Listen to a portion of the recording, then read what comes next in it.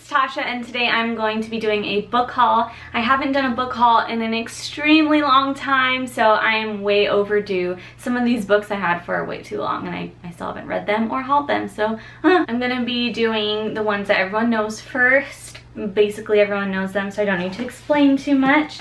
Um, Lady Midnight by Cassandra Clare. I read a little bit of this so far. I am really liking it, but I don't know if I'm gonna get to finishing it anytime soon. A Court of Mist and Fury, which is the second book in the... uh, I don't know. I can't think right now, but I don't know. You guys know what this is. I still haven't read it. Boomy. Of course, Empire of Storms, which is, I believe, the sixth book in the Throne of Glass series. Oh my god, I, I still haven't even read Queen of Shadows. Yeah, and if I didn't haul Queen of Shadows, I have that too. Look, just these three, look how much, oh gosh. Obviously Me Before You, I featured this in like two videos already. I also have a few audiobooks and ebooks, so I'll be showing those also. Um, this is You Are a Badass, How to Stop Doubting Your Greatness and Start Living an Awesome Life by Jen Sincero. This is something I don't normally get. It's like you know, like self-help book, motivational book.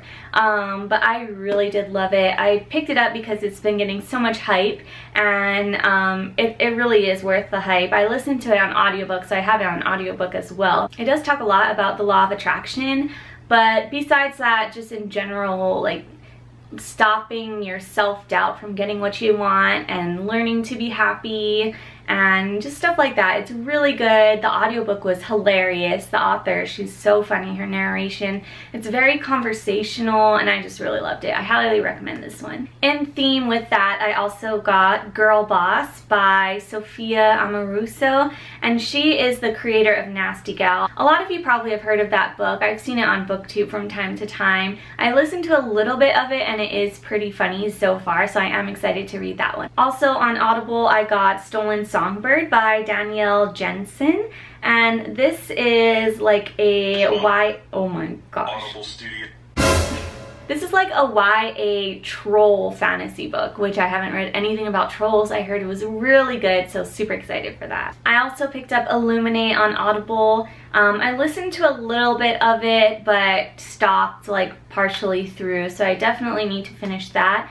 Um, but that's by Amie Kaufman, Jay Kristoff. But Illuminae is a sci-fi and it's really um, popular for it being told through like text messages and emails and chats. So it's a little more difficult to listen on audiobook and definitely takes longer than reading it. So that's a little bit of a uh, but still got it. I also have Written in Red by Anne Bishop. Um, I read a small snippet of it and I really loved it from, from what I read. So I picked this one up a long time ago on my trip to Portland at Powell's Books just because I wanted something from Powell's. Um, but I also got it on audiobook. So very excited to start this series whenever I do because I heard it was amazing. I also got a couple books for like blogging and stuff. So I have my travel blog, um, and so I got Words That Sell, and it's kind of like a big thesaurus. I saw it in uh, Barnes & Noble one time, but it has like other words for popular, and it has some phrases like if you want to it's kind of like more geared towards selling, like if you are a salesperson. It's really interesting though. It helps when I just feel like I'm using the same word over and over again. I mean, I could just use a thesaurus, but this is a lot cooler. Also in line with that, I got Blogging for Creatives and it's basically just a book about blogging and social media just for my personal reference for my blog and stuff. Talking about Google Analytics and WordPress and everything like that. I just got in the mail today Heartless by Marissa Meyer. I'm so excited for this. It's so beautiful. Oh my gosh. Basically, this is a fairy tale retelling of the Queen of Hearts in Wonderland. Like, I love Alice in Wonderland. I love Marissa Meyer's writing. I am so excited for this. So the last few books are going to be ebooks that I have on my Kindle app. Um, I bought Zenith from Sasha here on booktube and Lindsay Cummings. So yeah, I just wanted to check that out. Plus it's really short. It's only like 70 pages.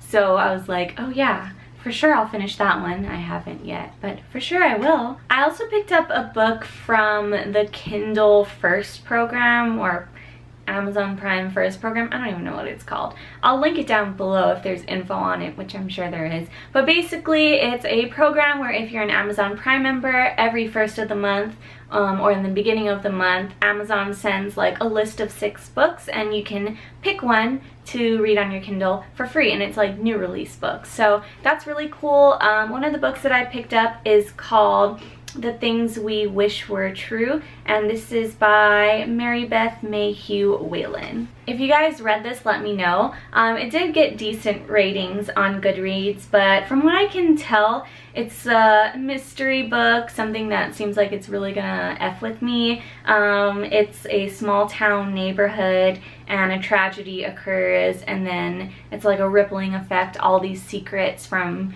everyone in the neighborhood come out and the neighbors' lives intertwine and it just sounds like a really messed up mystery. But yeah, those are all the books that I have picked up in my long overdue non-hauling absence. Um, thank you guys so much for watching. I hope you guys enjoyed this video and I will see you all in my next one. Bye guys. I cannot even pile all of these, especially these fat ones by Sarah J Maas. Like, goodness. Cassandra Clare, you too. What the?